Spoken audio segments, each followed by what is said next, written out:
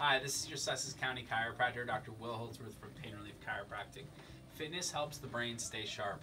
Older adults who regularly exercise have, been have better working brains than their peers who are largely sedentary.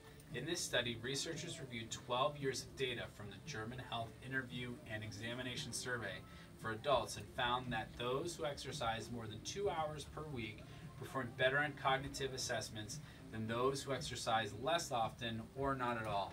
If you want to read more about this, you can check out the Journal of Science and Medicine and Sport, published in September of 2017. Thanks for watching. I'm your Sussex County chiropractor, Dr. Will Holdsworth from Pain Relief Chiropractic.